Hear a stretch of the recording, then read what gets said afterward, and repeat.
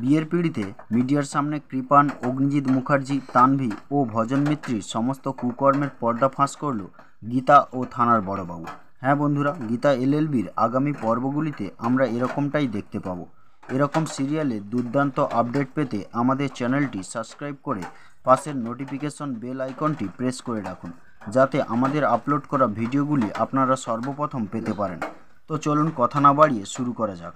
বিয়ের দিন যখন স্বস্তিক পদ্মকে নিয়ে বিয়ের আসরে আসার জন্য প্রস্তুত হচ্ছিল, তখন ভজন মিত্তির গুন্ডা পাঠিয়ে স্বস্তিককে মেরে পদ্মকে কিডন্যাপ করে নেয়। এরপর এই সব ঘটনা গিনি ভিতর থেকে দেখে নেয় এবং গিনি এইসব জানানোর জন্য যখন গীতাকে ফোন করে, তখন সে বুঝতে পারে গীতার ফোনটা ভজন মিত্তির চুরি করে নিয়েছে। তাই সে তাড়াতাড়ি করে বিয়ে বাড়িতে পৌঁছয়। সব কথা গীতাকে খুলে বলে। ঠিক তখনই কৃপান বর বরবেশে মুখার্জি বাড়ি পৌঁছয়। গীতা তাকে বরণ করতে গিয়ে বলে, বাবু সোনা তোমাকে আমি এখন বরণ করছি, একটু পরে পুজো করব। মনে আছে তো তোমার বাড়ি হলুদ নিতে গিয়ে কি বলেছিলাম? আজ তোমার এমন হাল করব যে তুমি আমাকে মা বলে ডাকবে আর চোখে সর্ষে ফুল দেখবে। এরপর দেখা যায় কৃপান বিয়ের পিঁড়িতে বসতে যাবে, ঠিক তখনই গীতা চিৎকার করে বলে, উঠে পড়ো বাবু সোনা, তোমার এখন বাকি ছয়টা রং দেখার সময় এসে গেছে।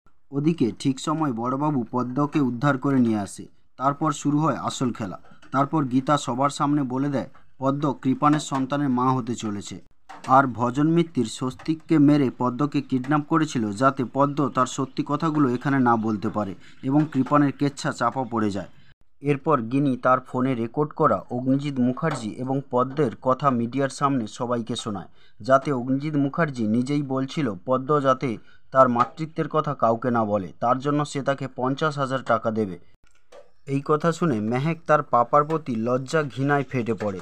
সে তার পাপার কাছে কাঁদতে কাঁদতে এসে বলে, পাপা, তুমি সব কিছু জেনে শুনে কীভাবে আমাকে ওই কৃপানের সাথে বিয়ে দিচ্ছিলে?